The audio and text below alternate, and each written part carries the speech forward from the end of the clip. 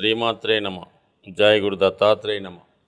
ఈ వీడియోలో మనం నవంబర్ ఒకటో తారీఖు నుంచి పదిహేనవ తారీఖు వరకు తులారాశి వారికి జరగబోయే పక్ష ఫలితాలు ఏ విధంగా ఉంటాయో తెలుసుకుందాం. ఈ రాబోయే పదిహేను రోజుల్లో నాలుగు ముఖ్యమైన గ్రహాలు కొద్దిగా మార్పు చెందడం జరిగింది.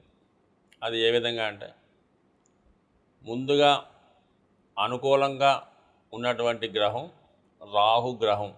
గత కొంతకాలంగా సప్తమ స్థానంలో ఉంటూ భార్యాభర్తల మధ్య విభేదాలు మీ వ్యక్తిగత జీవితంలో ఇతరుల ఇన్వాల్వ్మెంట్ వల్ల విభేదాలు నష్టాలు చికాకులు రావడం జరిగింది. ప్రస్తుతం మరి అటువంటి ఒక పద్దెనిమిది నెలలుగా సప్తమ స్థానంలో సంచరిస్తూ మరి ప్రస్తుతం ఆరవ స్థానంలోకి మారడం జరిగింది. మరి ఈ అక్టోబర్ ముప్పైవ తారీఖున ఇది చాలా అనుకూలమైనటువంటి స్థానం ఈ తులారాశి అంటే ఈ రాహుకి.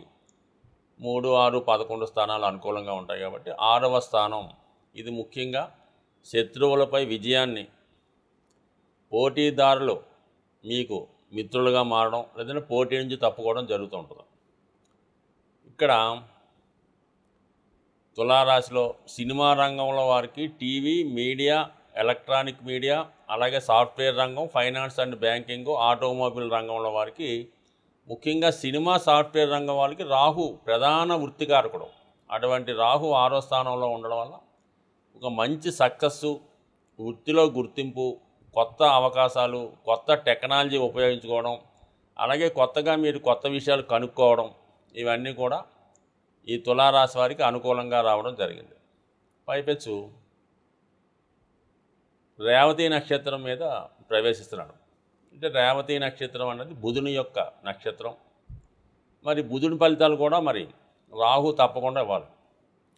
బుధుడు తులారాశి వారికి భాగ్య వ్యయాధిపతి అంటే భాగ్యస్థానం అనేది దూర ప్రాంత ప్రయాణాలు విదేశ గమనం అదృష్టం. పన్నెండు అన్నది చేంజ్ ఆఫ్ ప్లేసు ఉద్యోగరీత్యా దూరం వెళ్ళటం ఖర్చులు.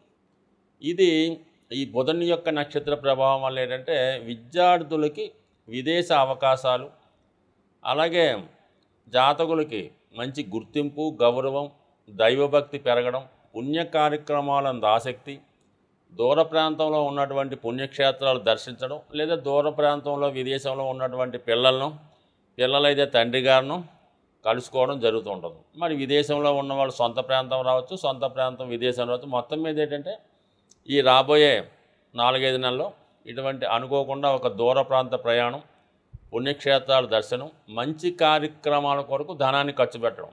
ఒక గుడికో లేదంటే ఒక మంచి కార్యక్రమానికో దైవ కార్యక్రమానికో పెళ్ళికో ధనాన్ని ఖర్చు పెడతారు. విద్య కొరకు కూడా ఖర్చు పెడతారు.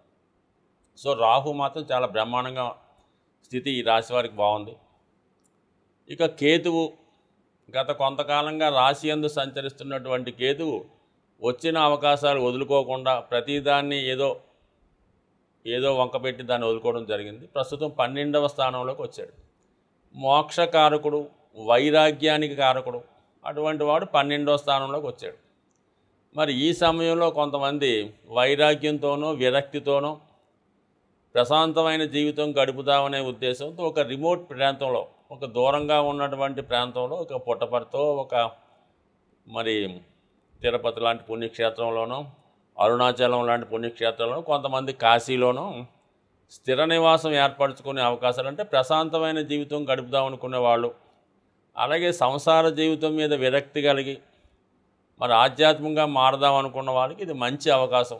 ఒక ప్రశాంతమైనటువంటి జీవితం గడపడం. అలాగే కొంతమంది పెద్ద పెద్ద భవనాలు ఇల్లు ఆస్తులను కూడా వాళ్ళ యొక్క ఫామ్ హౌస్లోనూ తోటలో ఉన్న ఒక కుటీరం వేసుకొని దాని మీద దాంట్లో ప్రశాంతంగా గడిపే అవకాశం ఉంది. ఎక్కువగా ఆధ్యాత్మిక చింతన దైవ కార్యక్రమాలు పూజలు భజనలు అటువంటి వాటిలో మరి ఎక్కువ పాల్గొనడం. అలాగే మరి సంసార జీవితం నుంచి విరక్తి కలిగి సన్యాస జీవితంలోకి మారడం. అలాగే భార్యాభర్తల అనుబ అనుబంధం ఫిజికల్ కంఫర్ట్స్ తగ్గడం. పేరుకి భార్యాభర్తలుగా ఉంటారు తప్ప ఎటువంటి ఫిజికల్ కంటాక్ట్స్ కూడా ఉండకపోవడం. ఇవన్నీ కేతు ప్రభావం వల్ల జరిగే అవకాశం ఉంది. ఇది కొంతమందికి మంచిది కొంతమందికి ఇబ్బంది కలిగిస్తూ ఉంటుంది. సో ఈ విధంగా ఉంటే ముఖ్యంగా గత కొంతకాలంగా పంచమ స్థానంలో కన్ఫ్యూజ్ చేస్తున్నటువంటి శని భగవానుడు రుజు మార్గంలోకి రావడం జరిగింది. సో ఆ కారణం వల్ల పంచమంలో ఉన్నటువంటి శని సప్తమాన్ని వీక్షిస్తే అక్కడ గురువు వక్రించి ఉండడం వల్ల వివాహ విషయంలో క్లారిటీ వచ్చే అవకాశం ఉంది. వివాహం కరెక్ట్గా నిశ్చయం అవడం అనుకున్నది జరిగే అవకాశం ఉంది. కానీ తొందరగా నిర్ణయాలు తీసుకోలేకపోతుంటారు. పంచమంలో శని ఉండడం వల్ల ఆలస్యంగా నిర్ణయం తీసుకుంటే పుణ్యకాలం గడిచిపోతుంటుంది. పంచమంలో ఉన్నటువంటి శని సప్తమాన్ని చూస్తుంటాడు. వివాహం ఆలస్యం అవుతుంటుంది గురువు వక్కించి ఉన్నాడు. ఎటు నిర్ణయం తీసుకోలేకపోతుంటారు. కానీ ఒక నిర్ణయం తీసుకోవడం వల్ల బాగుంటుంది. మరి శుక్రుడు లాభస్థానంలో సంచరిస్తున్నాడు అష్టమాధిపతిగా. ఆకస్మిక ధనలాభానికి స్త్రీల వాళ్ళ లాభాన్ని కలిగిస్తుంటాడు. మరి సింహరాశిలో ఉన్నటువంటి శుక్రుడు ఈ రాశి వారికి అధికార హోదా కలిగి ఉన్నటువంటి మంచి పొజిషన్లో ఉన్నటువంటి స్త్రీలు మీకు పరిచయం అవడం వల్ల వారు మీ అభివృద్ధికి కారణమవుతూ ఉంటారు. సో ఏదైనా లగ్న లాభాధిపతి వద్ద పరివర్తనం. అంటే లగ్నాధిపతిగా ఉన్నటువంటి శుక్రుడు పదకొండులోను పదకొండులో ఉన్నటువంటి రవి రగ్నవంతి ఉండడం వల్ల ఒక మంచి డిగ్నిఫైడ్ క్వాలిటీ ఇవ్వడం జరిగింది. పైపెచ్చు లగ్నవంతి రవి కుదులు ఉండడం వల్ల అధిక అధికార హోదా పెరుగుతూ ఉంటుంది.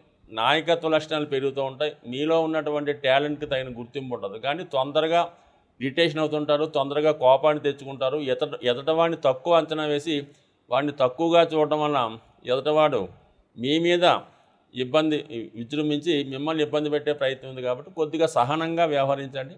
మీలో ఉన్నటువంటి ఎంత టాలెంట్ ఉన్నా కొద్దిగా కాంప్రమైజింగ్గా తగ్గి ఉండడం మంచిది. బుధుడు కూడా భాగ్యాధిపతిగా ఉండడం వల్ల మంచి వాక్చాతుర్యం తెలివితే ఏదన్నా మొత్తం మీద ఈ రాశి వారికి రాహు యొక్క స్థాన మార్పు అన్ని విధాల అభివృద్ధి చేస్తుంటుంది. మీలో టాలెంట్ గుర్తింపు వస్తుంది. ఆర్థిక పరంగా అనుకూలత ఇవన్నీ ఈ రాశి వారికి చాలా సక్సెస్ఫుల్గా రాబోయే సమయం ఉండే అవకాశం ఉంది. బట్ ఏదైనా కేతువు యొక్క ఇబ్బందుల నుంచి తప్పుకోవాలంటే విఘ్నేశ్వరుడు ఆరాధన. వీలైతే ప్రతి బుధవారం కానీ మంగళవారం కానీ విఘ్నేశ్వరుడు ఆలయంలో విఘ్నేశ్వరుని గ గడిగితో అర్చించడం సంకటహర చతుర్థి పాల్గొనడం అలాగే వృద్ధులకి బీదవారికి సన్యాసులకి ఆధ్యాత్మికవేత్తలకి ఆర్థిక పరంగానూ ఏదో విధంగా సహకరించడం కానీ వాళ్ళకి సేవ చేయడం వల్ల కేతువు యొక్క అనుగ్రహానికి పాత్రలు అవుతారని ఆశిస్తూ సో అలాగే ఇది మన ఈ గోచారం అన్నది సాధారణంగా మనం వ్యక్తిగత జాతకం కాకుండా మీకు ఉన్నటువంటి కేవలం మీ జాతకంలో మీరు పుట్టిన ఉన్నప్పుడు ఉన్నటువంటి చంద్రుడిని బేస్ చేసుకొని మనం గోచారం చెప్పడం జరుగుతుంది. అలాగే చంద్రుడితో పాటు చాలామందికి కేవలం రాసే తెలుస్తుంది తప్ప లగ్నం అన్నది తెలియదు కొంతమందికి ఆటోమేటిక్గా మేషలగ్నం వారికి కూడా మనం చెప్పినటువంటి ఫలితాలు కొంతవరకు మాత్రమే వర్తిస్తాయి. అంటే గోచారం ఎంతవరకు? మనకి జాతక చక్రంలో ఒక ఫలితం ఉన్నది. అంటే మీకు ప్రభుత్వ ఉద్యోగం ఉందని మీ జాతకంలో రాసి ఉంది. లేదా మీ క్రీడా రంగంలో విజయం సాధిస్తారని రాసి ఉంటే అప్పుడు మాత్రమే ఈ గోచారం మీకు సపోర్ట్ చేస్తుంది తప్ప మీ జన్మ జాతకంలో జాతక పీఠిక మీద ఇటువంటి యోగాలు లేవనుకుందాం. పైపు వివాహం అవ్వచ్చు సంతానం అవ్వచ్చు ఉద్యోగం అవ్వచ్చు. ఏదన్నా జాతక చక్రంలో ఉన్నటువంటి ఫలితాలు మాత్రమే గోచారరీత్యా గ్రహాలు మారినప్పుడు ఆ ఫలితాలు మీకు ఇవ్వడం జరుగుతుంది. కేవలం చంద్రలగ్నాథ్ గురువు సప్తంలోకి వచ్చాడు పెళ్ళి అవుతుంది. ఐదో స్థానంలో గురువు వచ్చాడు సంతానం కలుగుతారు. దశమంలోకి గురువు వచ్చాడు ఉద్యోగం వస్తుంది. ఇలాగ అనుకుంటే ప్రతి ఒక్కరికి కూడా ఈ జీ ఈ జీ భూమి మీద పుట్టిన ప్రతి ఒక్కరికి కూడా గోచారీత్యా గురువు ప్రతి సంవత్సరం మారి ఒక భావనలోకి వస్తుంటాడు అందువల్ల ఎవరికి కూడా ఎటువంటి కష్టాలు ఇబ్బందులు లేకుండా నడుస్తూ ఉంటుంది. సో అందువల్ల ఎంతసేపు కూడా జన్మజాతకం ఇంపార్టెంట్. ఆ జన్మజాతకంలో ఉన్నటువంటి గ్రహాల స్థితిగతులను బట్టి ఉన్న యోగాలను బట్టి మీకు గోచారం సపోర్ట్ చేస్తుంది కాబట్టి సాధ్యమైనంత వరకు ముఖ్యమైన కార్యక్రమాలు చేపట్టేటప్పుడు అందులో వివాహం ఉద్యోగం అలాగే ఏదైనా వ్యాపారం ప్రారంభించే ముందు లేదా మనం గృహయోగం ఉందా లేదా ఇలాంటి విషయాలు తెలుసుకున్నప్పుడు మీకు నమ్మకమైనటువంటి జ్యోతిష్కుల్ని చూపించుకోవడం వారి సలహాలు సంప్రదింపులు చేసుకొని కూడా మనం దాన్ని పరిశీలి జాతకాన్ని పరిశీలించుకోవాలి. జాతకంలో యోగం ఉన్నా కూడా దాని దశలు కూడా అనుకూలంగా రావాలి. అటు ఒకటికి మంచి శుక్రమాదశ ఉంటుంది. ఆ శుక్రుడు ఖచ్చితంగా నాలుగో స్థానంలో మంచి ఉచ్చులో బలంగా ఉంటాడు. అంటే మంచి వాహన యోగం గృహయోగం అన్నీ జరుగుతాయి. కానీ మరి ఆ శుక్రమాదశ రావాలి కదా. ఆ శుక్రుడు ఎప్పుడో జీవిత చివరి భాగంలో వచ్చినా ఫలితం ఉండదు. అలాగే ప్రారంభంలో చిన్నప్పుడు పోయినా ఫలితం ఉండదు. సో అందువల్ల దశలను బట్టి ఆ దశలకి గోచారం సపోర్ట్ చేయబట్టి మీ యొక్క జాతక విశ్లేషణ ఉంటుంది కాబట్టి సాధ్యమైనంత వరకు తెలిసిన వారికి బాగా సబ్జెక్ట్లో అనుభవం ఉన్న వాళ్ళకి మీ యొక్క జన్మజాతకాన్ని కూడా చూపించుకొని అందులో ఉన్నప్పుడు మీరు ఖచ్చితంగా కొంత ప్రయత్నం చేసి వేరే విదేశం కోసం వెళ్తాం. జన్మజాతకంలో లేనప్పుడు గోచారంలో సపోర్ట్ చేయడానికి ఏం ఉపయోగం?